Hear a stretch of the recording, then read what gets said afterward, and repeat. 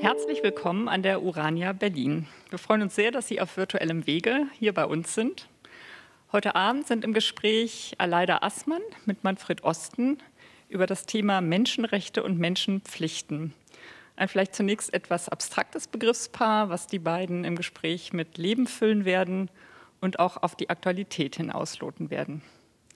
Ja, viele von Ihnen wissen es ja, der heutige Abend ist Teil der Gesprächsreihe Manfred Osten trifft. Einmal im Monat hat Manfred Osten interessante Menschen zu Gast aus verschiedenen Disziplinen, um über wichtige Fragen zu sprechen, auch über zeitlose. Im, Anspruch, Im Anschluss an das Gespräch werde ich Ihnen noch einen kurzen Ausblick geben auf die nachfolgenden Veranstaltungen. Jetzt wünsche ich Ihnen aber erstmal einen anregenden Abend und übergebe gerne das Gespräch. Meine Damen und Herren, ich begrüße Sie ebenfalls zum Gespräch mit Aleda Assmann über ihr wichtiges Buch mit dem Titel äh, bereits erwähnt Menschenrechte und Menschenpflichten und dem Untertitel Schlüsselbegriffe für eine humane Gesellschaft. Und ich denke, dass nach diesem Buch ein hochaktuelles Thema gesetzt ist, nämlich die Frage eines neuen Gesellschaftsvertrages, der dringend notwendig erscheint im Zusammenhang mit den Entwicklungen der Migration seit 2015 in Europa insgesamt. Und diese Überwindung dieser gesellschaftlichen Spaltung ist eines der zentralen Themen, äh, denen sich Frau Aleda Assmann äh, widmet in diesem Buche. Und ich denke, dass wir damit beginnen sollten, dass wir zunächst einmal äh, eine Frage stellen, die im Zusammenhang steht mit diesem Gesellschaftsvertrag, äh, bei dem Frau Aleda Assmann hinweist auf die natürlich rechtlichen und politischen Voraussetzungen, die notwendig wären, um einen solchen Vertrag zu verwirklichen. Aber viel wichtiger ist äh, für Sie, liebe Aleda Assmann, ja, sind die gesellschaftlichen Rahmenbedingungen. Das heißt, wie gehen wir miteinander um? Und damit habe ich eine erste Frage. Sie weisen ja eindrucksvoll äh, zurück äh, in die große Tradition dieser Umgangsformen, das heißt bis hinein in die altägyptischen Weisheitslehren. Aber sie zeigen auch auf, dass es eine große christliche Tradition gibt. Also die sieben Werke der Barmherzigkeit und auch Siegfried Krakauer er hat 1919 auf den Begriff der christlichen Begriff, wenn Sie so wollen, der Menschenliebe rekurriert. Meine Frage ist, ähm, diese Spaltung in der EU ähm, äh, führt mich zu der Frage, dass in der EU selbst, in der Verfassung der EU, man sich konsequent geweigert hat, mit irgendeinem Wort Bezug zu nehmen auf die christliche Tradition Europas. Ähm, und daher meine Frage, äh, welche Hoffnung verbinden Sie äh, mit diesem kulturellen Erbe, mit dieser großen Tradition, die Sie in Ihrem Buch schildern? Äh, wie weit sind wir überhaupt, und das ist eine Frage auch ganz für Sie als Gedächtnisforscherin, im Rahmen der Vorgänge der, sagen wir mal, der Erosion des kulturellen Gedächtnisses eigentlich heute noch in der Lage, diesen großen Schatz äh, an Tradition über die Fragen des Umgangs miteinander, äh, ihn wirklich für uns äh, sinnvoll äh, umzusetzen in die Praxis. Vielen Dank. Ähm, Sie haben gleich von Ägypten auf die christliche Tradition zugesteuert. Ähm, mein Interesse war allerdings eher so etwas wie das Menschheitsgedächtnis als solches anzuzapfen, ohne mich gleich auf irgendeine äh, besondere Tradition wiederum zu beschränken oder die besonders zu, ähm, in den Vordergrund zu stellen. Und wenn wir jetzt, wenn ich jetzt hingewiesen habe auf die biblische und jetzt auch neutestamentliche ähm, Tradition äh, zum Thema Menschenpflichten, und auf die Werke der christlichen Barmherzigkeit, dann könnte ich zum Beispiel auch hinzufügen, dass ähm, das ein vorwiegend mittelalterliches, spätmittelalterliches Konzept war, das bis zu Cusanus ganz wirksam war, aber von äh, Luther schon nicht mehr besonders äh, geschätzt, weil ihm äh, da wiederum zu viel Werkgerechtigkeit äh, im Spiele war. Und wenn wir äh, zu Kant kommen, dann hatte er diesen Begriff äh, der Menschenpflichten im Sinne, in dem Sinne, wie ich ihn hier wieder aufbauen möchte, sofort verworfen, indem er die goldene Regel durch seinen kategorischen Imperativ äh, ersetzte. Mhm. Also meine Pointe ist eigentlich ein etwas anderer Weg, nicht eine große alteuropäische äh, Tradition wieder aufrichten. Ich muss auch sagen, dass ich in den ersten ähm, Jahren meines Lebens, Jahrzehnten meines Lebens im Kalten Krieg äh, gelebt habe. Das war ein Europa, der Polarisierung. Und da wurde der Begriff äh, des christlichen Abendlands sehr tendenziös beschworen. Mhm. Also mich hat er da nicht mitgerissen und im Gegenteil habe ich mich da eher auf andere Traditionen ausgerichtet. Ähm, deswegen hm, würde ich erstmal diesen, diesen Begriff jetzt äh, der christlichen Tradition einordnen in eine sehr viel vielstimmigere Mm, in einen sehr viel äh, vielstimmigeren Gesang von Stimmen, die ähm, tatsächlich alle miteinander zusammenstimmen, weil sie sich um dasselbe Thema ähm, kümmern und dasselbe Anliegen haben. Nämlich, äh, wie Sie einleitend äh, auch so wichtig gesagt haben, das menschliche Zusammenleben ähm, neu zu ordnen, in dem Sinne, dass die Mitmenschlichkeit da äh, in den Vordergrund gerückt wird. Ähm, Menschen sind ja nicht nur friedliebend, sie haben sehr, sehr viele Eigenschaften und äh, Gefühle und sind auch zu sehr vielem bereit. Also man muss Menschen immer wieder in diese Richtung hinein zivilisieren. Und genau das ist das Anliegen, das alle Kulturen der Welt, möchte ich jetzt wirklich so betonen, äh, haben. Sie haben, und das ist eben die Entdeckung dieser Tradition, die, die, die durch alle Kulturen der Welt geht, Sie haben äh, Regeln für ein friedliches, einvernehmliches äh, Zusammenleben, ein Miteinander entwickelt.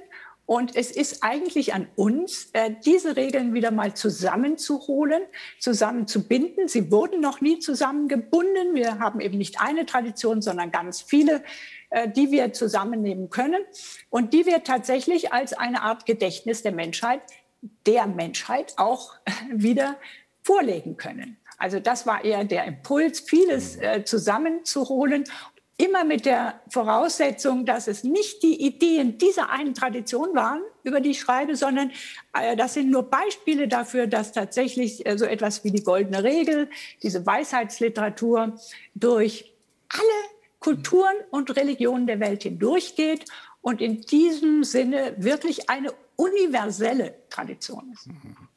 Ja, das Bewusstsein dieser universellen Tradition, über die Sie sprechen und über die Sie äh, so wunderbar schreiben in Ihrem Buch, äh, war ja, damit komme ich zu dem nächsten Schritt eigentlich in Ihrem Buch, zumindest im Ersten Weltkrieg offenbar in Vergessenheit geraten und 1919 äh, nach dem Zivilisationsbruch, der praktisch damit schon begonnen hatte, hatte ja, und Sie erwähnen ihn ausdrücklich, Siegfried Krakauer darüber nachgedacht, wie man eigentlich einen neuen universalistischen, äh, möchte ich sagen, eine neue universalistische Gesellschaftsordnung statuieren könnte. Das, er hat es damals genannt, ich habe mir das notiert, die, die, den humanen, die, die sogenannten humanen Tugenden.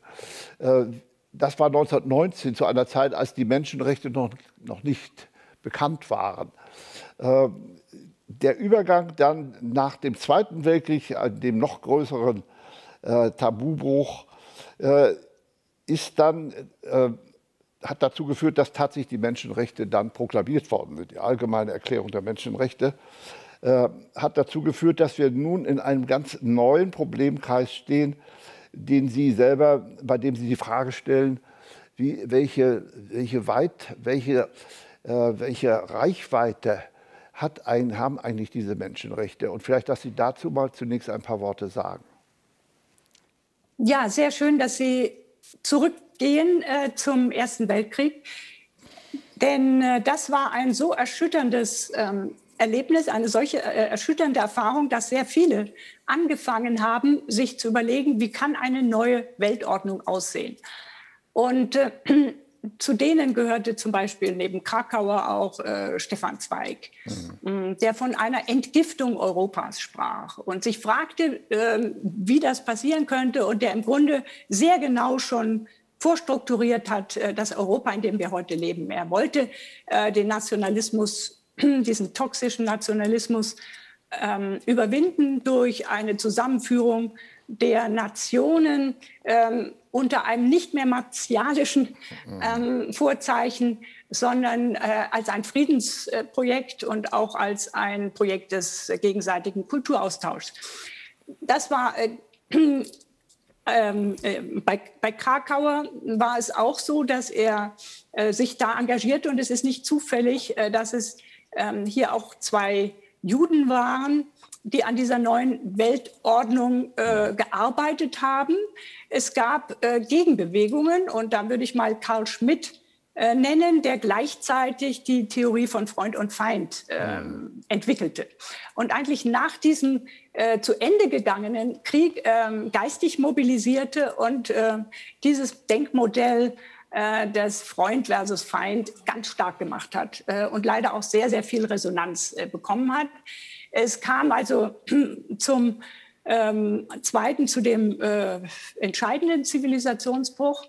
Und äh, es war der Moment, dass die Menschenrechte zunächst mal, die Menschenpflichten haben wir jetzt noch nicht im Blick, aber dass erstmal die Menschenrechte hm, neu äh, verankert wurden.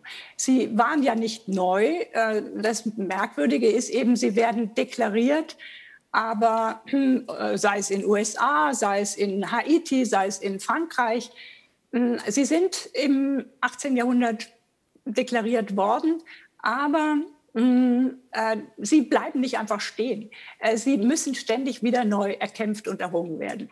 Und das gilt eben auch für 1948 und René Cassin, der ja da sehr entscheidend mitgewirkt hat, der äh, zusammen mit Stefan Essel, an den wir ja hier noch in Erinnerung haben. Das, sind, das war jemand, der eben auch beide Weltkriege mitgemacht hat, der erheblichen Teil seiner Familie im Holocaust verloren hat und der äh, genau an dieser neuen ähm, Ordnung Europas äh, mitgearbeitet hat und äh, die Menschenrechte neu deklariert hat. Und das war ja im Dezember 1948 und ein paar Monate später, ich glaube sechs Monate später, im äh, Mai, ist dann äh, das westdeutsche Grundgesetz ähm, äh, gezeichnet worden. Und da sind diese Sätze ähm, wieder aufgenommen worden. Alle Menschen sind frei und gleich an würde und Rechten geboren. Und dieser Satz wiederum ist dann nochmal in unsere Rechtsordnung eingegangen am 3. Oktober 1990, als äh, dieses Grundgesetz Verfassung, deutsche Verfassung wurde. Und auch da ist äh, nochmal, sind die Menschenrechte in diesem Sinne als Grundlage unserer Verfassung bestätigt worden. Ich würde nun sagen, das ist eine ganz, ganz wichtige Geschichte, die äh, aus der Geschichte heraus auch äh, sehr, sehr gut verständlich ist. Aber damit haben wir überhaupt erst einen Rahmen, in dem der dann nochmal gefüllt werden muss. Also wir haben natürlich auch den Europäischen Gerichtshof für Menschenrechte. Cassin hat dafür gesorgt, dass es, wie er das nannte, einen Durchsetzungsmechanismus gibt. Vorher waren Deklarationen nur Deklarationen. Es war sehr schwer einklagbar. Und äh, den haben wir in Europa. Es gibt diesen durch äh, den Europäischen Gerichtshof der Menschenrechte und mit dem ist ja auch der Europarat eng verbunden. Also wir haben auf der europäischen Ebene eigentlich äh, eine Rechtsordnung, in denen jetzt die Menschenrechte verankert sind. Und äh, das reicht mir aber nicht, weil ich das eben für einen sehr wichtigen Rahmen halte der noch gefüllt werden muss. Und deswegen spreche ich auch von dem Verhältnis zwischen Menschen, Rechten und Menschenpflichten als einem Ergänzungsverhältnis. Die machen sich äh, keine Konkurrenz in keinster Weise, sondern die Menschenrechte bilden den Rahmen, der durch die Menschenpflichten gefüllt wird. Und die Menschenpflichten sind, äh, wie Sie das auch gerade gesagt haben, sind sozusagen der Alltag im Sozialen. Das ist das, äh, alltägliche Miteinanderleben, äh, miteinander zurechtkommen. Und das wird natürlich, dafür braucht es ebenfalls Regeln und ähm, nicht nur Rechte, sondern auch Pflichten. Das muss eingeübt werden und darüber müssen wir überhaupt neu nachdenken in einer Zeit, wo, wie es ja immer wieder heißt, der gesellschaftliche Zusammenhalt ähm, nicht mehr trägt, wo die Gesellschaft auseinanderbricht und vor allem ähm, die Fremdenfeindlichkeit als eine neue Bedrohung grassiert. Also die humanen Tugenden stehen im Moment nicht im höchsten Kurs, äh, solange ähm, die äh, Globalisierung unsere Gesellschaften sehr stark verändert, wir sehr viele ähm, Migranten und äh, Immigranten haben, die äh, die Städte äh, und äh, Schulen und äh, das Zusammenleben äh, in Nähebeziehungen inzwischen ganz stark prägen, mitprägen und verändern.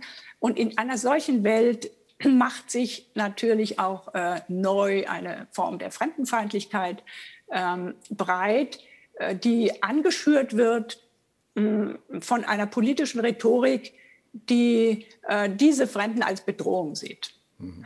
Also der, der, Fremde ist äh, zunächst einmal nur ein anderer Mensch, aber ähm, diese Fremdheit ist ja steigerbar durch die politischen Inszenierungen und äh, so kann man den Fremden zum, äh, zur Bedrohung ähm, stilisieren. Man kann ihn aber auch wieder zum Mitmenschen äh, machen und zurückholen und da setzen dann genau die Menschenpflichten an. Ja, vielen Dank, Frau Aßmann. Sie haben gerade erwähnt den europäischen Ursprung der Menschenrechte. Äh, und ich denke, das ist äh, eines der großen Probleme, die Frage nämlich der Universalisierbarkeit der Menschenrechte. Äh, das führt ja so weit, dass man da sogar von einem neokolonialistischen Manöver spricht, etc. Meine Frage ist, wie ist mit diesem, wie werden wir mit diesem Problem fertig? Weil es ja äh, eine ganze Reihe von Ländern gibt, die offenbar sich mit diesen Menschenrechten, äh, vor allen Dingen, weil sie eben europäischer Herkunft sind, äh, nicht anfreunden können. Äh, das ist die eine Frage. Die andere Frage ist, dass ja mit diesen Menschenrechten, äh, das sagen Sie selbst in Ihrem Buch, ein radikaler Individualismus in diesen Menschenrechten europäischen Ursprungs also im Namen also der Sakralität der Person eingeschrieben ist. Äh, das würde mich nun ganz besonders interessieren, äh, wie äh, wir damit mit diesem Problem fertig werden, im Verhältnis etwa zum Beispiel gegenüber China. Also mich würde das interessieren, wie weit wir gerade in, gegenüber China ja immer wieder die Menschenrechte betonen. Welche Zukunft haben die Menschenrechte in diesem Zusammenhang aus Ihrer Sicht? Ja, das ist ähm, sehr, sehr wichtig und ähm, ein Teil meiner, meines Interesses, den Begriff der Menschenrechte zu komplettieren durch den der Menschenpflichten, hängt genau damit zusammen. Die beiden äh, Begriffe äh, ergänzen sich, denn sie haben einen ganz anderen Stammbaum, äh, wie Sie ja gerade betonen. Das eine ist, eine ist ein europäisches Produkt der Aufklärung und wird äh, universalisiert und äh, über die Welt verbreitet und dort eben zum Teil als ähm, fremden Ursprungs empfunden, etwas, was nicht unbedingt in alle Kulturen hineinpasst. Wenn ich jetzt den Begriff der Menschenpflichten äh, stark mache, dann haben wir ein Konzept mit einem ganz anderen Stammbaum. Äh, also 4000 Jahre Menschheitsgeschichte, ein Denken, das eigentlich durch alle Kulturen und Religionen hindurchgeht und ähm, tatsächlich ähm, in diesem Fall den Menschen als Mitmenschen in den äh, äh Mittelpunkt stellt. Und äh, die grundlegenden Regeln, die damit verbunden sind, äh, sind eigentlich äh, überall auf der Welt als äh, intuitive Moral anerkannt und werden auch so praktiziert. Es sind die Regeln vor der Achtung, vor dem Schutz des Lebens, einen fairen Umgangs, ähm, der Gastfreundschaft, aber auch der Schutz äh, der Schwachen. Äh, all das zeigt sich in der Tradition dieser Menschenpflichten, dass dieses zentrale Thema eigentlich äh, sich durchhält und in der goldenen Regel kulminiert, mm, die nämlich da lautet, was du nicht willst, dass man dir tut, das füge auch keinem anderen zu. Das ist ein Grundsatz, der überall auf der Welt verstanden wird. Äh, und da kann man nicht von äh, Uni universal äh, sprechen, sondern muss von universell sprechen. Denn der ist ja überall erfunden worden und äh, verständlich. Es ist also kein Exportartikel, der ähm, immer noch äh, sozusagen sein Her äh, durch seine Herkunft äh, in der Anwendungsweite eingeschränkt wäre. Ähm, und dieses, äh, diese goldene Regel, würde ich mal sagen, ähm, setzt zunächst mal immer schon zwei voraus, dass man das Individuum nicht ausschließlich, und das ist vielleicht eine, wirklich eine westliche Übertreibung, nur vom Individuum aus denkt. Das ist zu kurz gegriffen. Denken wir auch nochmal an die Zeit von Krakauer, denn als dessen äh, humane, er über humane Tugenden nachdachte, dachte äh, man, äh, Martin Buber über Ich und Du nach. Das ist eine ganz andere Anthropologie, die nicht das Individuum freistellt äh, und als Konkurrenten neben andere, äh, anderen aufbaut. Denn das war ja die Form, in der die westliche Gesellschaft das Individuum dann auch gestärkt hat im Sinne einer Wettbewerbs- oder Ellenbogensgesellschaft, einer Leistungsgesellschaft, wo der eine den anderen überbieten muss, sehr stark aus dem alten Griechenland ähm, herausgewachsen, eine Form von agonalem äh, Formen äh, des sich hervortuns, äh, bester und erster werden und solche Sachen. Ähm, also wenn Martin Buber nach dem Ersten Weltkrieg äh, Ich und Du schreibt, dann ist das ein anderer anthropologischer ähm, Ansatz, der auch in der westlichen Tradition eine große Rolle spielt, jetzt auch wieder aus dem Judentum kommt und tatsächlich äh, diese Frage der Mitmenschlichkeit ins Zentrum stellt. Und äh, von daher würde ich doch sagen, gibt es hier ein, ein, ein Angebot oder eine Möglichkeit, den, ähm, die, die starke ähm, Betonung des Einzelnen, der, in den Menschenrechten äh, verankert ist, die Würde der Person sehr gut zu vermitteln und zu ergänzen durch diesen anderen äh, Ansatz, der den Menschen von vornherein als Mitmenschen denkt. Denn das ist ja die Erfahrung, äh, die wir von Anfang an haben. Wir sind als Menschen nie auf uns selbst äh, gestellt. Wir sind ähm, in dem Sinne nie autonom. Äh, wir sind angewiesen auf andere. Und äh, diesen Ansatzpunkt äh, ähm, könnten wir auch gerade mit den, mit, in den Menschenpflichten äh, stärken. Ja, vielen Dank. Sie bringen mich selbst auf einen Gedanken, der mich schon bewegt hat in einer sehr langen Zeit, in der ich in Asien tätig gewesen bin gerade dieser letzte Gedanke, den Sie erwähnen, der ist äh, ja im Grunde ähm, bereits äh, zwei, äh, vor Christus längst erfunden worden, nämlich durch äh, Konfuzius in China. Denn äh, die dortige Reisbauernkultur ist ja eine hydrologische Reisbauernkultur, wie überhaupt in ganz Ostasien. Das heißt, das Geben und Nehmen des Wassers in diesen Feldern äh, verlangt also ein Miteinander. Äh, und daraus resultiert eben auch im Konfuzianismus. Und äh, China hat ja nicht nur die Schrift, sondern auch den Konfuzianismus äh, gewissermaßen in die umliegenden Nationen äh, hineingetragen, sie damit eigentlich kulturalisiert.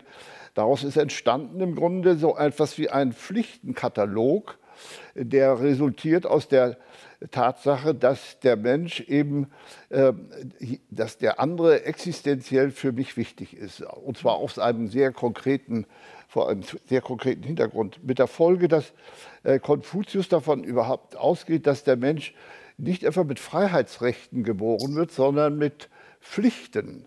Und zwar mit Dankespflichten gegenüber den Eltern. Er erklärt das im Lun Yu, also in den Gesprächen mit seinen Schülern, äh, für das größte, als Dankespflicht für das größte Gut, was man erhält, das ist das Leben. Und das ist eine Dankespflicht, die nie abgetragen werden kann gegenüber den Eltern.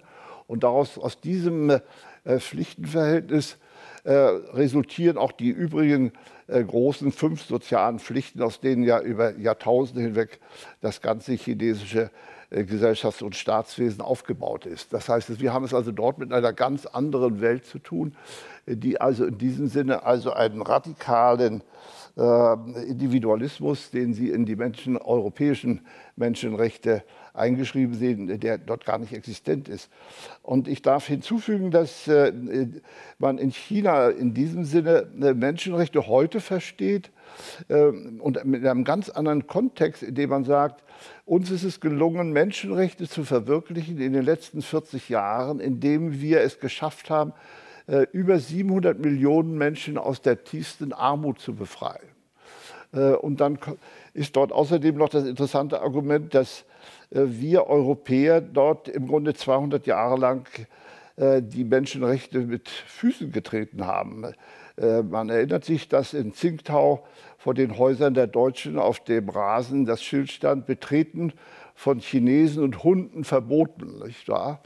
Äh, ich denke, dass das also ein Aspekt ist, den man einfach auch mal im Auge behalten sollte, dass wir hier also eine ganz andere äh, Welt haben, in der der, der Begriff der Menschenrechte europäischer Konvenienz äh, einen ganz anderen Klang hat, weil hier im Grunde primär eigentlich von den Menschenpflichten ausgegangen werden muss. Nicht?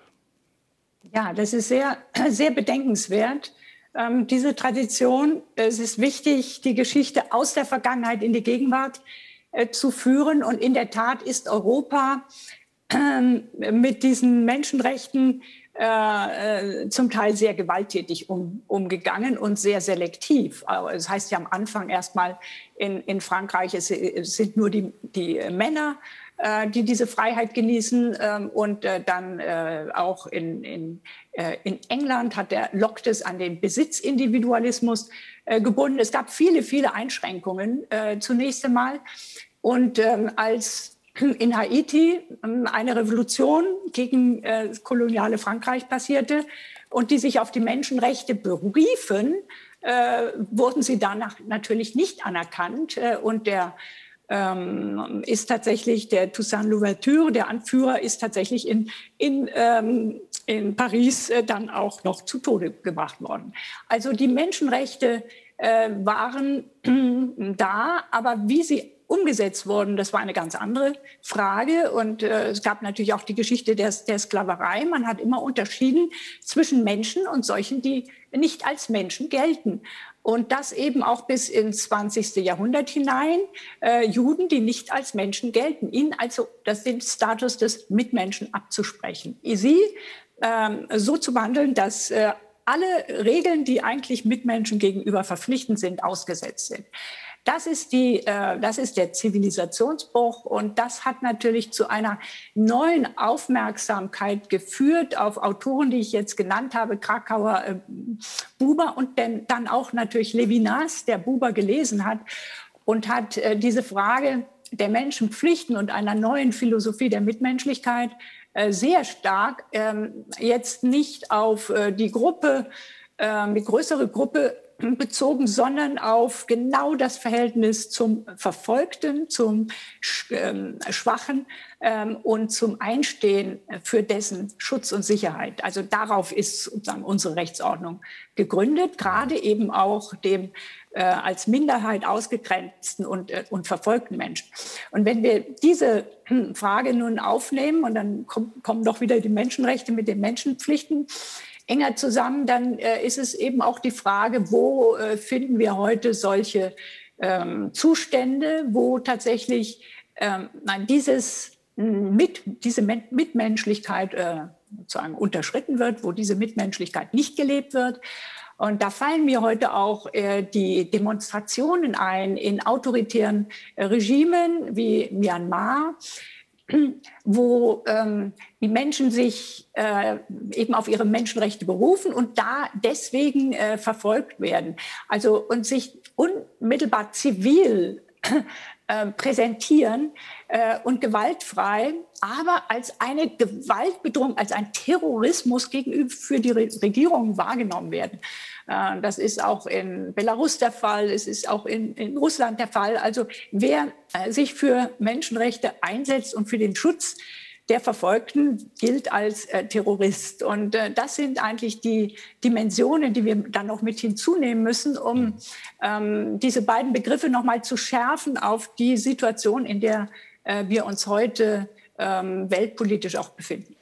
Ja, gehen wir nochmal auf unsere eigene Situation zurück. Äh, die Frage, wie weit wir wirklich praktisch die Menschenrechte äh, umsetzen könnten in unsere Gesellschaft im Sinne auch eines neuen Gesellschaftsvertrags.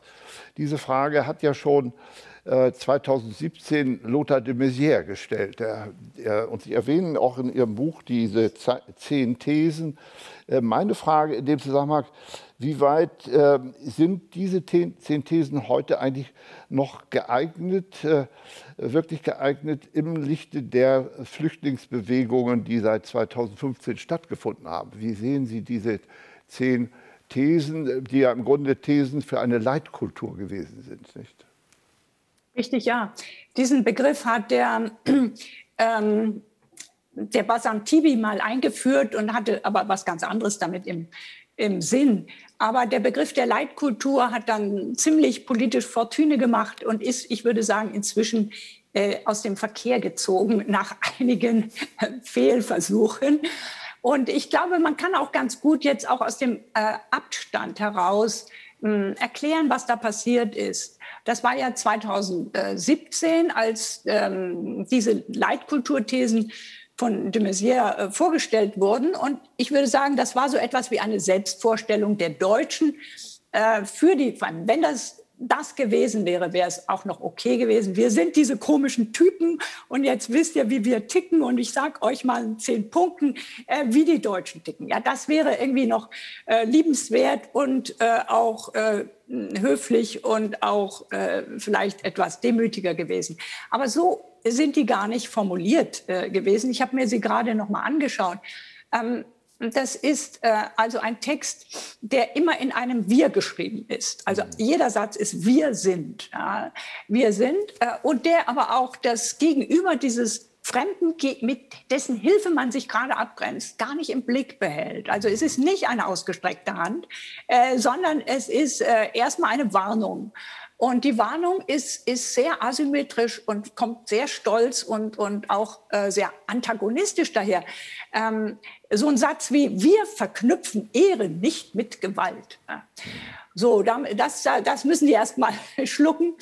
Und dann der nächste Satz, wir sind Kulturnation. Wir sind aufgeklärte Patrioten. In dem Stil geht das immer weiter. Also es ist eine Aufzählung des Stolzes und der Abgrenzung. Und äh, was in diesem ganzen Text gar nicht vorkommt, ist, wer seid denn ihr? Ähm, und wie können wir vielleicht mit euch zusammen ein neues Wir äh, zu Wege bringen? Dieser Gedanke ist noch ganz in weitester Ferne, es ist gar nicht angeklungen.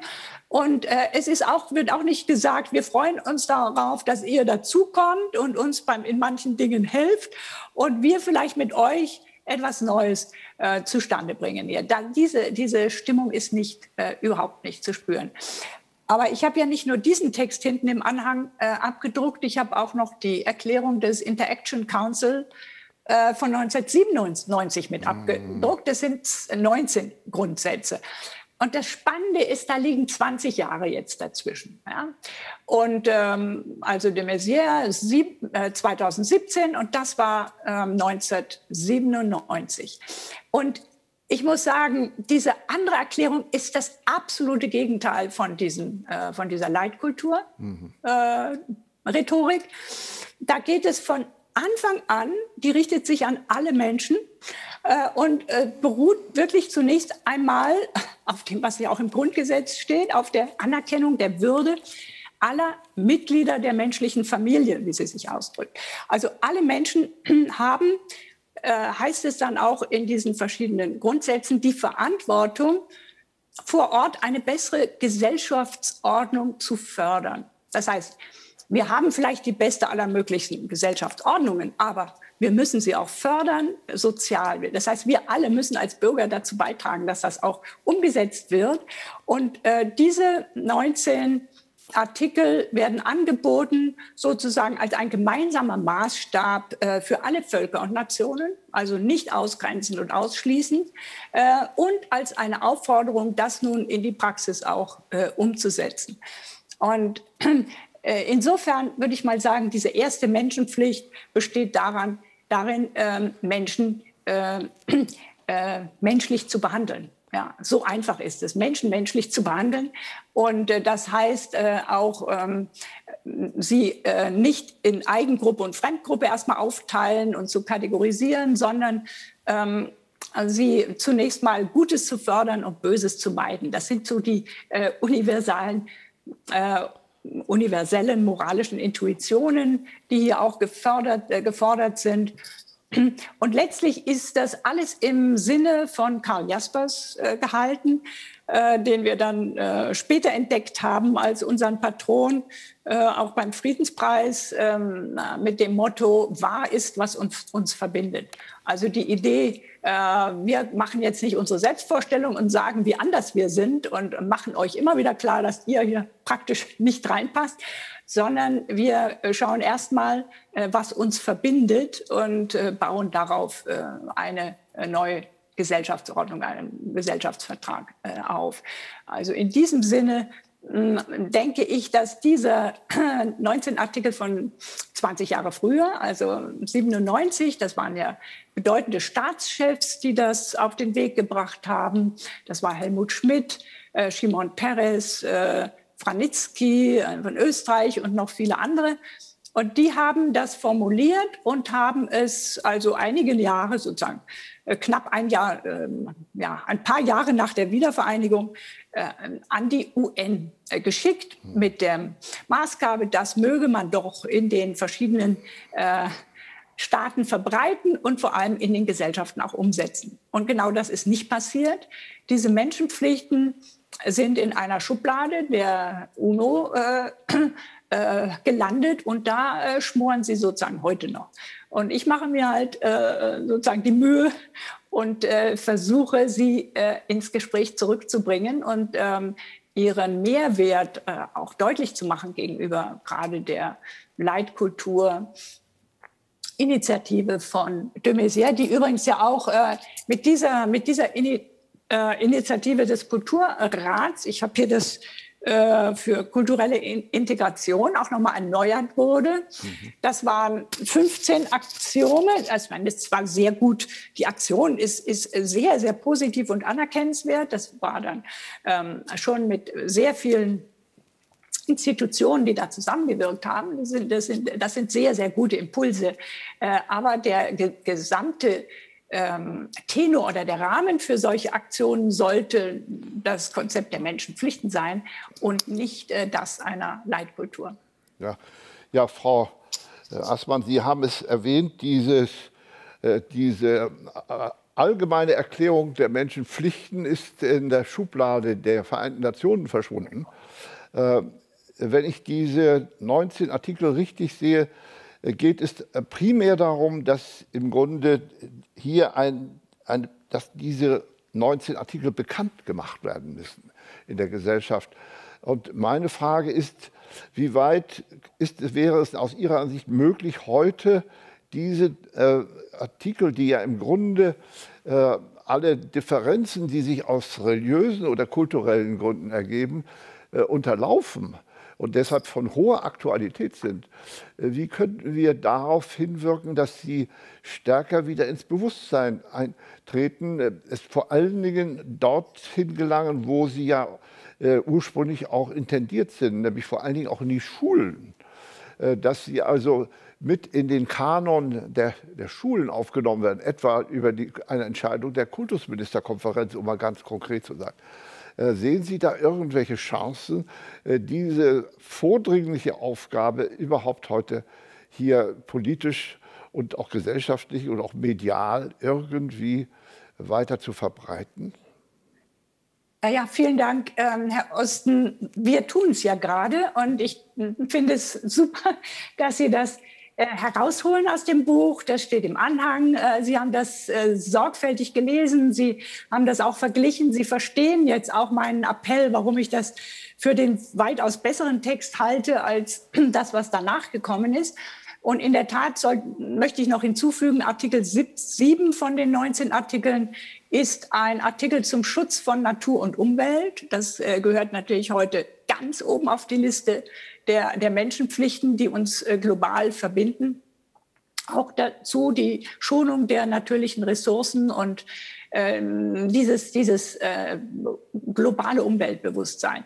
Also diese, kurzum, diese, dieser Katalog der Menschenpflichten, der sollte in die Praxis zurück, denn dahin, äh, darauf ist er gemünzt. Und man kann ihn ja diskutieren, man kann feststellen, dass manches nach äh, 30 Jahren etwas altmodisch klingt. Man kann das ja äh, jederzeit updaten. Man kann da eine Gruppe finden, die das äh, vielleicht noch mal in die Gegenwart jetzt übersetzt mit ihren ganzen Dringlichkeiten. Aber der Grundimpuls äh, ist wirklich der, den wir jetzt äh, brauchen, ähm, diese ganzen Unterschiede zu unterlaufen und uns zu besinnen auf ein gemeinsames äh, Fundament, was eben dann auch ähm, die Menschenrechte äh, global stärkt, aber eben mit Impulsen, die aus den Kulturen selber heraus ähm, kommen können und denkbar sind, weil es sich um diese Menschenpflichten handelt. Und äh, vielleicht ähm, ja diese politische ähm, ja, Konsequenz, die Sie jetzt beschreiben, äh, ist äh, sehr gut. Wir können in Deutschland ja damit mal anfangen. Und Kultusministerkonferenz finde ich eine sehr gute Idee. Auch die Schulen äh, könnten davon sehr profitieren. Wir machen es jetzt gerade mal bekannt, hoffen, dass es ähm, Neugier auf Neugier und Interesse stößt. Und es gibt auch eine neue Veröffentlichung übrigens aus dem letzten Jahr. Und zwar, da ist das in 44 Sprachen, glaube ich, abgedruckt. Also das ist auch auf der ganzen Welt dann gut lesbar und verständlich, wenn diese ja. Ausgabe ähm, dann äh, auch Verbreitung findet. Ja. Haben Sie irgendwelche Erfahrungen mit der Rezeption dieser äh, 19 Artikel jetzt gerade in unserer Zeit? Gibt es dazu irgendjemanden, der sich, der die Sache aufgegriffen hat, jetzt in der Gegenwart? Gibt es dazu irgendwelche Kommentare? Haben Sie das mitverfolgt? Ich habe nur äh, mitbekommen, dass ähm, ich angeschrieben wurde von diesen Leuten, die diese Übersetzung gemacht haben, die es gerade wieder mhm. neu aufgelegt haben als Buch und tatsächlich, dieses Buch ist jetzt greifbar. Aber das ist eigentlich nicht mehr als der Hinweis darauf, es gibt etwas. Wer sich jetzt der Sache weiter annimmt und das auch einsetzt, das ist noch offen, aber vielleicht sollte man eine große Aktion machen, das erstmal überall rumzuschicken, so wie ja auch der Kulturrat äh, für Integration mit, äh, mit seiner Broschüre mhm. ja uns alle auch ähm, versorgt hat. Vielleicht sollte man das wirklich in eine äh, sehr einfache und leichte, leicht zugängliche Form bringen und äh, erstmal verteilen und dann kann man darüber weiterreden. Aber das Gespräch ja. sollte fortgesetzt werden. Ja. Äh, ja, Frau Aßmann, bevor wir jetzt weitergehen zu den Schlüsselbegriffen für die humane Gesellschaft, die ja äh, zentral sind für die, für die Praxis eines neuen Gesellschaftsvertrages, wollte ich noch mal zurückkommen zu dem von Ihnen bereits wiederholt erwähnten äh, goldenen Regel, die äh, Sie ja im Zusammenhang sehen, auch mit dem kategorischen Imperativ äh, Kants. Und äh, meine Frage an Sie, äh, dieser kategorische Imperativ hat ja äh, das Problem, dass Kant selber davon ausgegangen ist, praktisch im selben Atemzug gesagt hat, dass der, dass der Mensch eben eine, moralisch ein sehr unvollkommenes Wesen ist, ein moralisch sehr unvollkommenes Wesen. Also welche äh, Universalisierbarkeitsmöglichkeit hat dann der kategorische Imperativ, also als erste Frage. Äh, und dann eine sehr, zentrale Frage, äh, mit der ich auch immer wieder in Asien äh, auf dieses Problem gestoßen worden bin äh, das ist die Kritik, die ja Hegel bereits gegenüber dem kategorischen Imperativ erhoben hat. Er hat darauf hingewiesen, dass äh, unterschieden zwischen Moralität und Sittlichkeit. Und Moralität betrifft eben äh, nur die, die reine Innensteuerung des Menschen während Sittlichkeit im Grunde das, die gelebte Moralität ist, die Praxis, das Umgesetzen. Äh, das heißt also, wir sind hier wieder bei einem sehr auf das Individuum allein bezogenen kategorischen Imperativ. Äh, welche äh, Chancen geben Sie vor, dem, vor diesem Einwand dennoch dem, dieser goldenen Regel? Ja, das haben Sie jetzt sehr schön herausgearbeitet. Herr Osten, Sie haben das äh, wunderbar hm, auseinander entwirrt. was die Philosophen machen, äh, ist immer eine höhere Reflexionsstufe und gleichzeitig auch etwas, was reiner ist. Was reiner ähm, ist im Sinne von abgetrennt äh, von Praxis und äh, Sinnlichkeit und allen möglichen anderen menschlichen sozusagen Affekten. Und dieses, ähm, dieser, diese höhere moralische Stufe, ähm, damit verliert der kategorische Imperativ eben auch seine unmittelbare Wirkung und auch Einsehbarkeit. Schon den Satz äh, einem jungen Menschen zu verklickern, ist gar nicht einfach. äh, das, äh, das, zu reproduzieren ist schwierig. Ähm, äh, tue nur das, was du sozusagen zur Maxime deines Handelns erheben kannst und so weiter, dann werden die staunen und den Kopf schütteln.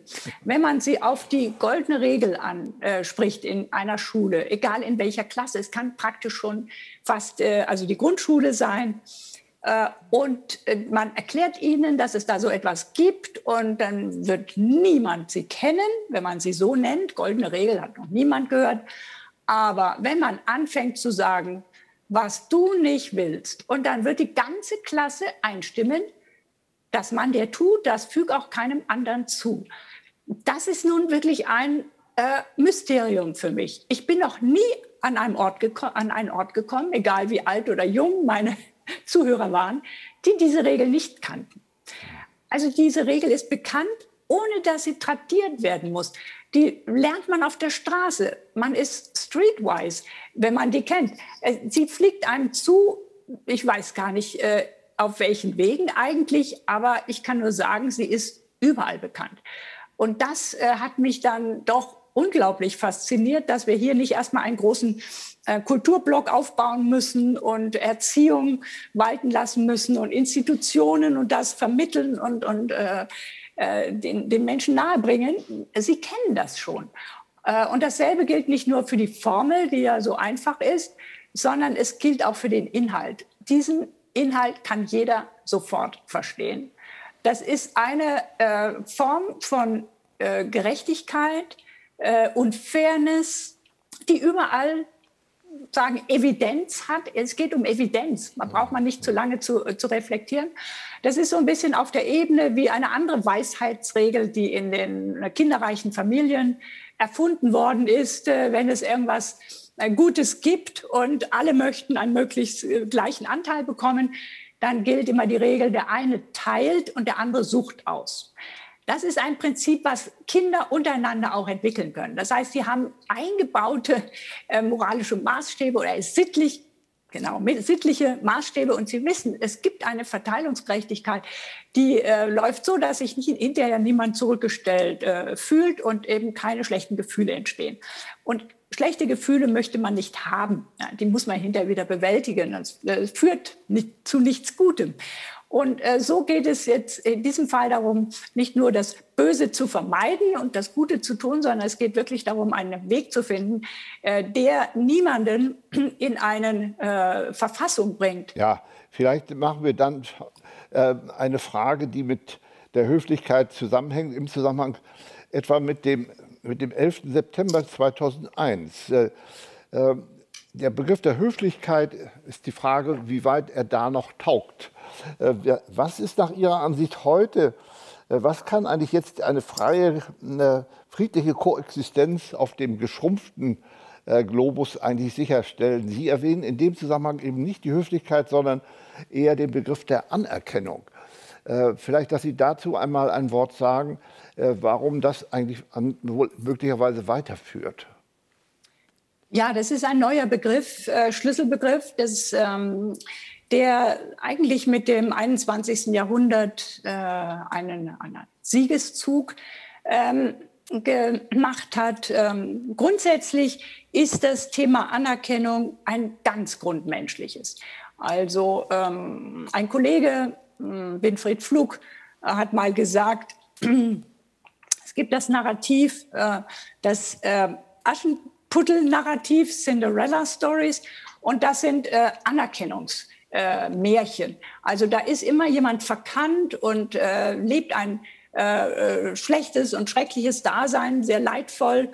Und wartet auf den Moment, dass man entdeckt wird, dass man plötzlich in einer anderen strahlenden Gestalt auftritt und plötzlich von allen die gewünschte Anerkennung findet. Also insofern ist das natürlich ein menschliches Grundbedürfnis, äh, die Anerkennung. Und ohne Anerkennung, also im, im Zustand der Verkennung äh, leben, äh, das muss äh, ganz furchtbar sein. Das ist kein Leben äh, eigentlich, äh, so dass eigentlich auch hier wieder die Ich-Du ähm, Dialogsituation von Martin Buber gilt. Der eine äh, ist dafür verantwortlich, dass der andere leben kann, indem er ihn ihm achtet, anerkennt, wahrnimmt äh, und ihm überhaupt äh, den Ort schafft, in dem er dann auch aufblühen und äh, sich äh, zeigen kann. Also diese, diese äh, unmittelbare Aufeinanderbezogenheit äh, von Menschen durch Anerkennung ist aber aus dieser Grundsituation inzwischen zu einer tatsächlich sehr, sehr wichtigen gesellschaftlichen Grundkategorie geworden, weil es eben so viele Gruppen gibt, äh, die sich in diesem Zustand der Verkennung oder Verkanntheit oder auch Missachtung oder äh, äh, ja, Verzerrung äh, ähm, äh, gefühlt haben oder einfach e-, existiert haben. Und diese Anerkennung deswegen inzwischen als eine neue, auch demokratische, äh, ja, als demokratisches Grundprinzip zwischen anerkannt ja. wurde. Ja. Und äh, unter diesem äh, Aspekt äh, ist ja auch der, der Begriff des Respekts eigentlich äh, jetzt eingeführt worden. Mhm. Respekt ist im Grunde auch nichts anderes als äh, Anerkennung. Äh, äh, Respekt ist eine, eine aktive Form der Anerkennung und insofern nicht nur man toleriert den anderen und man lässt ihn sein, das ist eine eher passive äh, Form von Mitmenschlichkeit, sondern es ist ein eher aktiveres äh, Verhältnis der Achtung äh, und möglicherweise auch der Wertschätzung. Also ich habe, äh, Sie erwähnen Respekt im, im, Hinblick eben auch auf die lateinische Grundformel respizere, dass eben vor allen Dingen eigentlich mehr die Rücksicht, die Nachsicht mit dem Respekt verbunden ist. Ähm, und, äh, ich denke, die Frage taucht auf, wie weit in diesem Zusammenhang dieser andere große wichtige Begriff, ähm, welche Relevanz er eigentlich hat äh, gemessen am, äh, am Respekt, das ist der Begriff der Toleranz. Dass wir darüber noch einmal äh, nachdenken, wie weit dieser Begriff tauglich wäre im Zusammenhang mit Ihren Schlüsselbegriffen. Äh, Toleranz, dazu gibt es ja dieses berühmte Wort, äh, ist, sei aus der Weimarer Klassik, sei eine Empfindung, die nur vorübergehender Natur sein sollte. Sie sollte übergehen in Anerkennung oder Respekt, wenn Sie so wollen, denn dulden heißt beleidigen. Äh, ist Toleranz selbst also, äh, äh, ist also der Respekt der Toleranz eigentlich wohl vorzuziehen? Also der Respektbegriff ist inzwischen vorgezogen worden, dem der Toleranz, ähm, aus, glaube ich, zwei Gründen. Die Toleranz ist äh, bisher immer etwas gewesen, was man von oben nach unten ähm, gewährt hat. Also da ist eine vertikale Hierarchie eingebunden. Man toleriert irgendjemanden, ähm, der einem irgendwie äh, niedriger gestellt ist. Und außerdem hat er mehr den Charakter einer Passivität. Mhm. Das äh, Tolerieren heißt dulden, lassen es gehen und bestehen. Wahrscheinlich ist das Dulden äh, eine durchaus auch sehr wichtige und äh, starke soziale Kraft, denn wir können nicht alles wertschätzen und anerkennen. Das ist vielleicht mal eine Überbetonung äh, der Zuwendung. Äh, wir müssen auch einfach nebeneinander koexistieren in friedlicher Weise. Und man könnte das äh, Tolerieren auch wieder stärker machen, in dem Sinne, dass wir sagen, wir müssen uns, wir müssen in der Lage sein, von ganz vielem abzusehen, was uns am anderen stört. Das könnte ja eigentlich auch eine positive Kraft sein in der Gesellschaft. Wir ja. können darüber hinwegsehen. Wir schauen nicht immer auf dieses, äh, was uns unterscheidet, wir schauen mehr auf das, was äh, uns verbindet. Äh, insofern könnte man die Toleranz durchaus äh, auch positiver wieder aufladen und ähm, dann als eine Vorstufe zum Respekt äh, zum Beispiel äh, sich vorstellen. Ich glaube, da gibt es ein Kontinuum in diesen Begriffen und äh, äh, jedenfalls, wenn Sie mich so fragen, ähm, kommt mir in den Sinn, dass die äh, Toleranz wahrscheinlich doch äh, noch nicht ausgedient hat, sondern auch noch äh, gewisse Aufgaben äh, über, übernehmen muss. Ja, äh, Frau Assmann, Sie haben äh, gerade diesen erweiterten Begriff, das, das, das, was uns nicht trennt, sondern vereint, äh, vor dem Hintergrund äh, multikultureller Parallelgesellschaften äh, haben Sie einen Begriff in Ihrem Buch aufgegriffen, aufgegriffen mit dem Begriff der Zivilisation, indem Sie davon ausgehen, dass damit letztlich das die Differenz, die im Begriff des, der kulturellen Identität besteht, ähm, eingeebnet wird und wir ein gemeinsames haben. Ist das der Begriff, wo, mit dem man heute operieren könnte, indem wir an die Stelle von Kultur eigentlich Zivilisation setzen? Ja, vielen Dank für diese, dieses Nachkonstruieren meines, meines Gedankens. Letztlich äh, geht es um mir um ein wirklich grundlegendes Problem, mit dem wir gerade heute intensiv kämpfen äh, und ringen. Äh, und das ist äh, die Frage, wie kann man auf der einen Seite die Differenz von Identitäten, äh, Stichwort Identitätspolitik, das ist ein Rad, das man nicht zurückdrehen kann. Man kann nicht so tun, als na, wäre das rückgängig zu machen. Äh, mit diesen Anerkennungsdynamiken, wenn die eine Gruppe anerkannt wird, wird die andere auch. Und dann gibt es neue äh, Erscheinungsformen, die auch wieder auf Anerkennung ähm, hin äh, in, insistieren. Also dieses, äh, diese Dynamik lässt sich nicht äh, stillstellen. Aber man muss sie irgendwie einhegen, dass sie nicht äh, zur Zersplitterung der ähm, Gesellschaft wird und den Gemeinsinn dann eben auch völlig aufzehrt. Und in diesem Sinne wollte ich äh, einen Gegenbegriff finden zur, äh, zur Differenz. Ich habe jetzt mal die Kultur mit, dem, mit dieser Dynamik der Differenz ähm, mhm. verbunden, denn Kulturen gibt es ja tatsächlich auch nur im Plural und sie unterscheiden sich, äh, fängt an in Europa. Jedes Land hat seine äh, Kulturen, auch durchaus dann auch nochmal im Plural mit Regionalkulturen. Das ist etwas, was äh, in der Vielzahl nur existieren kann. Ähm, was wir aber dann zur Einhebung brauchen, ist irgend so etwas, was nur ähm, wiederum in der Einzahl äh, funktioniert. Und das ist das Gemeinsame, auf das wir uns als Rahmen beziehen können. Vielleicht ist Zivilisation äh, ein Begriff, der ist zu festgelegt. Ähm, äh, als Gegenbegriff zu Kultur. Vielleicht sollten wir einfach nur sagen Zivilität im, in Fortsetzung dessen, was wir heute miteinander im Gespräch entwickelt haben. Es geht wahrscheinlich doch um gar nichts anderes als diese, diese Grundlage oder der gemein, ein gemeinsamer Rahmen der Zivilität, auf den sich alle einigen können. Und wenn man den als gemeinsamen Rahmen äh, sich vorstellt, dann äh, wären ja die Differenzen auch gut auszuhalten. Denn die Differenzen können sich ohne diesen Rahmen äh, verabsolutieren. Sie können dann fundamentalistisch werden. Äh, sie können aber auch, man könnte auch sagen, sie relativieren sich. Unsere Werte sind nichts mehr wert, wenn die der anderen auch so viel wert sind. Also um diese ganzen Fragen ähm, ein, einzuhegen, äh, die ja so äh, explosiv äh, gelagert sind äh, und mit so viel äh, Emotionen und auch Gewaltpotenzial und, und Trennungswahn äh, sich verbinden, äh, indem man sich auf das Gemeinsame als, äh, als das Zivile einigt, was man gemeinsam definiert. Äh, vielleicht sollten wir zum Schluss auf einen noch einen anderen Begriff kommen, der vielleicht noch mehr als das, was wir jetzt gesprochen haben, äh, noch mehr das Gemeinsame in den Blick rückt. Ähm, die haben es, diesen Begriff sogar genannt, bezeichnet als eine Art universelle Ressource. Äh, ich meine den Begriff der Empathie, dass wir darüber vielleicht noch einmal kurz sprechen. Äh, das heißt, äh, dieser offenbar wichtige, ganz besonders wichtige Schlüsselbegriff für eine neue Gesellschaftsordnung ist ja etwas, womit wir in einer Weise uns erweitern können in der Wahrnehmung des anderen das sogar hinführt zu einem anderen Schlüsselbegriff, den wir vielleicht ganz zum Schluss noch mal behandeln sollten, dem, den Gedanken der Ähnlichkeit.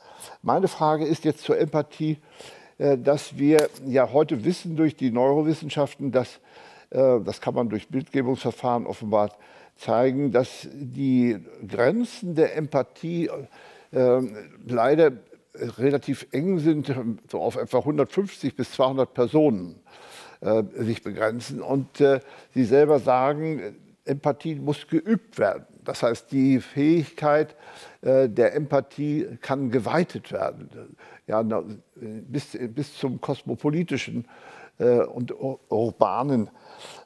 Meine Frage ist, das würde ja bedeuten, dass dieser Begriff vor allen Dingen von zentraler Bedeutung ist für die, für die Frage der Erziehung.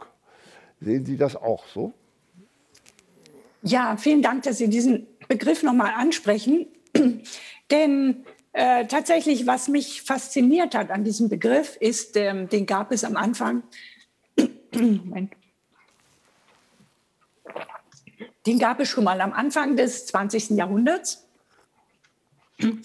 ähm, in der Psychologie und vielleicht auch in der Philosophie, aber er hat sich gar nicht besonders durchgesetzt. Und ähm, dass er wieder erschienen ist, und zwar äh, eigentlich durch die Naturwissenschaften wieder neu aufgelegt wurde, ähm, ist eine ganz andere Entwicklung. Und man kann wirklich, ist mir mal aufgefallen, ich habe das verglichen, die Publikationsdaten der Empathiebücher, die fangen mit dem Jahr 2000 an. Mhm. Also wir haben da eine richtige Schwelle, wo wir sagen, hier haben wir ein neues Paradigma. Und zwar eigentlich ist es ein Begriff, der, der uns, den Geisteswissenschaften eigentlich gehört, aber er kommt zurück gespielt über die Naturwissenschaften. Und genau wie Sie sagen, es sind die bildgebenden Verfahren, die plötzlich ermöglichen, dass man äh, Hirnströme äh, und Synapsen ähm, in Aktu ähm, beobachtet und dabei auch Messungen vornehmen kann. Und natürlich damit verbunden auch sehr viele weitere empirische Versuche bei Tieren und bei äh, Menschen. Ähm, also ich denke an Doris Köhler-Bischoff, äh, die das in einer Kindergartengruppe äh, schon vor dem Jahr 2000 äh, festgestellt hat, dass Kinder zwischen zwei und drei Jahren anfangen, empathiefähig zu werden und es vorher nicht sind. Also auch ganz spannend, dass nämlich so eine Form des Mitfühlens und Mitdenkens sich in diesem Zeitraum entwickelt. Und sie hat das so nachgemessen, dass eine Kindergärtnerin einen Teddy hatte, dem mit einer Sollbruchstelle der Arm entfernt werden konnte. Und das hat sie dann sozusagen in der Gruppe gemacht. Der Arm war plötzlich ab und sie hat getrauert und getrauert und wollte mal schauen, wie haben die Kinder reagiert. Und die jüngeren Kinder haben völlig unbehelligt weitergespielt, haben das gar nicht gemerkt während alle älteren Kinder äh, plötzlich verlegen waren und sich Handlungen ausdachten. Und die einen standen nur irgendwie unbeholfen rum und schauten ihr zu und die anderen boten ihr ein anderes Spielzeug an oder haben ihr irgendeinen Trost zugesprochen. Also, dass Kleinkinder dazu in der Lage sind, ist äh, offensichtlich. Und die Frage ist natürlich, ob die Empathie dann auch äh, Chancen hat, sich zu entwickeln. Dafür braucht sie ein Umfeld, äh, und sie braucht äh, eine, eine äh, Entwicklung und eine, eine, eine Bildung. Und hier kann man ja sagen, dass auch die Grenze der 150 oder wie viele Personen auch überschritten wird, äh, durchaus in den äh, Filmen und in den Büchern, äh, die wir lesen oder sehen. Also wir sind äh, empathiefähige Menschen, können uns in diese Perspektiven eindenken und äh, man kann sagen, die Literatur, die Kunst ist eine große Schule der Empathie. Auf dem Theater, auf der Bühne können wir uns in diese äh, Figuren alle hinein, mit hinein äh, versetzen. Das ist eine äh, Stärkung sozusagen dieser, dieser, äh, dieser Fähigkeit. Aber gleichzeitig haben Sie auch recht, es gilt, äh, geht, gibt die Möglichkeit, diese Empathie sehr selektiv einzusetzen und sie auch abzustellen. Ich, ich äh, vergleiche das mit einem äh, Schalter, Lichtschalter. Man kann sie anstellen und abstellen. Äh, und so ist das meistens. Man hat sehr viel Empathie für die Eigengruppe und null Empathie für die Fremdgruppe. Und diese Empathiesteuerung hat ja auch in der Nazizeit äh, sehr, sehr gut funktioniert, sodass wirklich diese Urregungen der Mitmenschlichkeit unterdrückt worden sind. Also Empathie lässt sich ausschalten durch nicht hinschauen, durch äh, sich den Dingen nicht aussetzen und so weiter. Und umgekehrt ist das Lernen hinzuschauen eben auch eine Form Empathie ähm, äh, zu steigern und eben auch über die, äh, über die Eigengruppe hin, hinaus ähm, zu entwickeln. Und dasselbe gilt auch für die Stereotypen, in die wir andere Menschen ein, äh, einkerkern, gewissermaßen die Festlegung äh, auf bestimmte Bilder, Begriffe und äh, auch Erwartungsstrukturen. Das sind Formen der Kategorisierung. Und die Möglichkeit besteht immer, äh, darin, äh, etwas Gemeinsames mit diesen Menschen zu entdecken, was sie wieder äh, zugänglich macht. Und ähm, von ähm, tatsächlich von Joachim Bauer stammt der schöne Satz, Dekategorisierung ist Rehumanisierung. Also wenn wir diese Kategorien äh, Käfig sozusagen sprengen, dann kann der Mensch wieder aus, äh, aus diesem Käfig heraustreten und mit dem kann man sich wieder ganz neu, dem kann man neu begegnen. Also diese ähm, Formen des Umperspektivierens, äh, die Möglichkeit, sich in die äh, auch auf, in die Schuhe des anderen zu stellen, dessen Blick äh, für eine Weile über, zu übernehmen. Das sind äh, wirklich menschliche Ressourcen, die aber, wie gesagt, ähm, einen Rahmen brauchen, in dem eben nicht die ganze Gesellschaft unter einen Bedrohungsdruck gesetzt wird, dem Fremden gegenüber. Ja? Also die, äh, der Antisemitismus war ja eine, ein, ein solcher ganz intensiver Rahmen, der Kindern bereits schon eingebläut hat, ähm, eine äh, unglaubliche Angst vor Juden zu entwickeln. Also das geht dann so weit, dass die Kinder, also an der, in, der, in der Tafel in der ersten Klasse stand schon über der Tafel, über der Klasse, die Juden sind unser Unglück. Das war dann eine Dauerkonditionierung und in den Schulaufsätzen war davon die Rede vom Giftpilz, dem sieht man sein Gift nicht an, aber äh, können also viele Menschen verheerendes äh, richtet er an und so weiter. Dieses Dauerbedrohungsbewusstsein gegenüber dem Fremden, das kann man ganz, ganz, ganz tief ähm, so hineinsozialisieren. Und das ist eben eine toxische Form der Zerstörung von, von Mitmenschlichkeit, äh, die äh, zu den aller, allerschlimmsten Katastrophen führt, die wir wissen, wie wir wissen. Und äh, deswegen ist auch heute wieder jede Form der Spaltung äh, des Menschen vom Mitmenschen in Richtung Fremdenfeindlichkeit ein unglaubliches Alarmsignal in unserer Gesellschaft. Und dass das auch in anderen europäischen Ländern und auch mit dem Internet im Moment forciert wird, ist eine riesengroße Sorge. Also man muss dem etwas entgegensetzen und ähm, die Empathie, ja, die kann man einsetzen, aber man muss sie pflegen und man muss äh, sie als eine Ressource eben auch fördern. Ja, Frau Erstmann, äh, damit komme ich zu dem, äh, zu dem Gedanken, den Sie auch ausführen im Zusammenhang mit der Empathie, dass sich Empathie sogar steigern lässt bis zu der Vorstellung der Ähnlichkeit. Äh, das heißt, dass wir also äh, jenseits der kulturellen und religiösen Differenzen äh, ein Gemeinsames in der Ähnlichkeit entdecken. Vielleicht, dass Sie dazu zum Schluss noch etwas sagen, weil dieses auch in Ihrem Epilog gewissermaßen, im Ausklang nochmal betont wird als eine große Möglichkeit, die wir eigentlich viel stärker heute in den Fokus rücken sollten. Vielleicht, dass Sie dazu ein Wort sagen.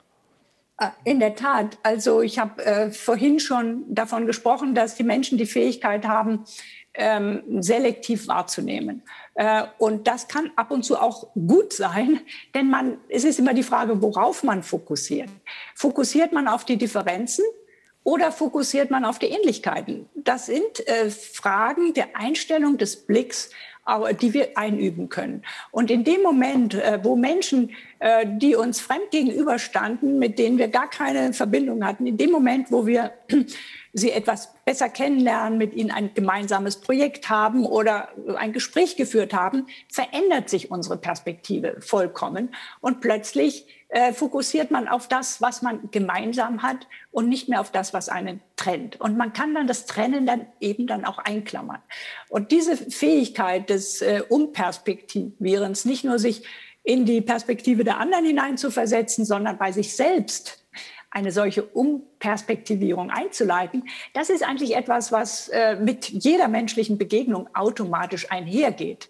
Die Menschen verändern sich ja im, in der Begegnung, im Gespräch, in der Aktion, in der gemeinsamen Nähe, die man aufbaut, in, in der Nachbarschaft, ähm, wenn man immer beim selben, äh, in derselben Schlange steht und äh, weiß, man kennt die Abläufe, man sieht den morgens äh, ähm, zum Joggen laufen und so weiter und plötzlich hat man eine gemeinsame Welt zusammen.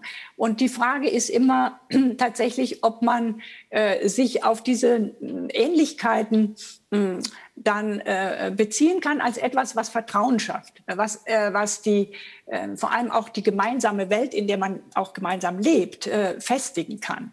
Ähm, das heißt, äh, ein Ingredienz, das nennen wir auch gern Gemeinsinn entwickeln kann, ein Gemeinsinn, der eben die anderen äh, nicht, nicht sich unterordnet und angleicht an eine Mehrheit, sondern ein Gemeinsinn, der den anderen einbezieht. Also eine Form des aktiven sozialen, prosozialen äh, Gemeinsinns, der diesen äh, Kreis der meinigen oder die zu mir gehören äh, äh erweitert über die Eigengruppe hinaus.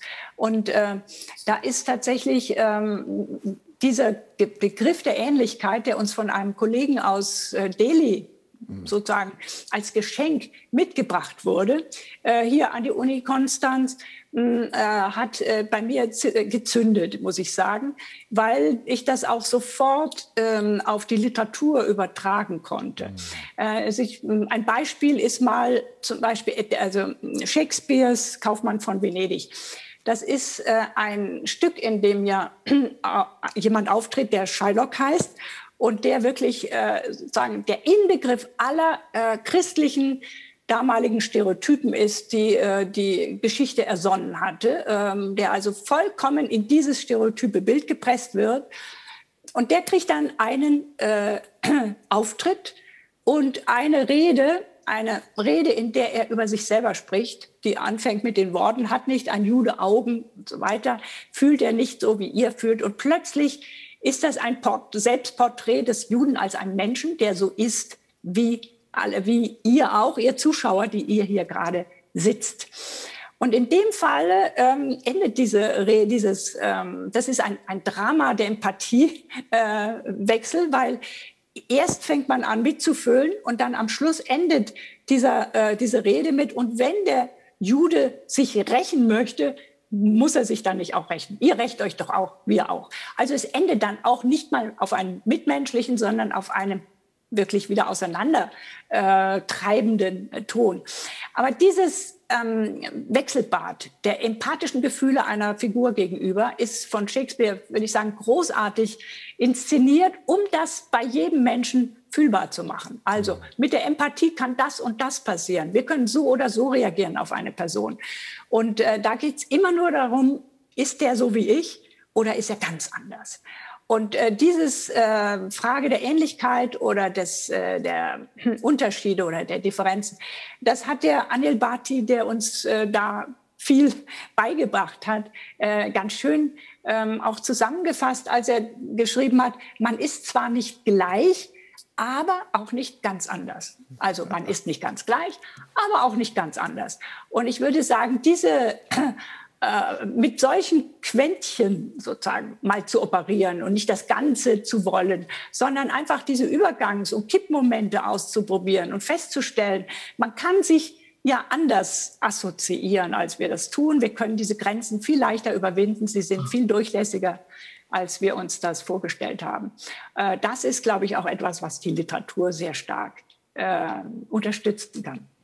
Ja, liebe Alena Assmann, ich denke, wir sollten das als ein Schlusswort betrachten, äh, mit dem wir Ihnen danken, dass wir dieses Gespräch führen konnten über die, äh, mit der optimistischen Aussicht, dass es vielleicht doch möglich ist, dass wir zu einem neuen Gesellschaftsvertrag kommen könnten äh, und dass wir damit auch hinauskommen über dieses abgründige Verdikt von Friedrich Nietzsche, der ja behauptet hat, der Mensch, Mensch sei eigentlich nichts anderes als das noch nicht festgestellte Tier, dass wir also darüber hinauskommen können.